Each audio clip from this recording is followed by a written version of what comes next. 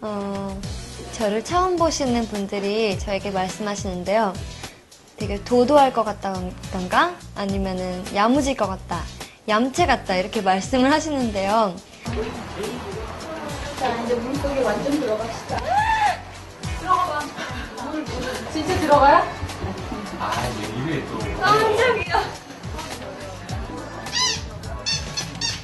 저를 알고 계시는 분들께서는 너의 매력은 엉뚱함이라고 막 말씀을 하세요. 그래서 제 매력은 엉뚱함이 아닐까라는 생각이 들어요.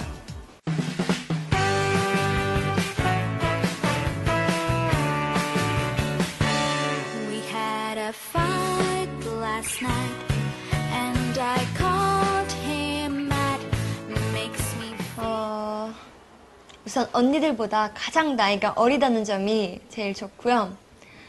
그렇기 때문에 언니들이 많이 챙겨주시고, 그리고 귀여워해 주시고, 예뻐해 주신다는 게 너무 좋고요.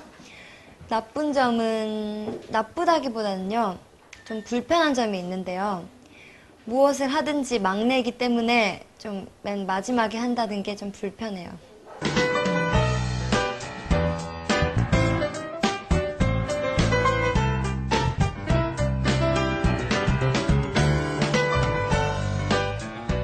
저희 소녀시대에서 막내로서요, 활력소가 될 수 있도록 열심히 노력할 거고요.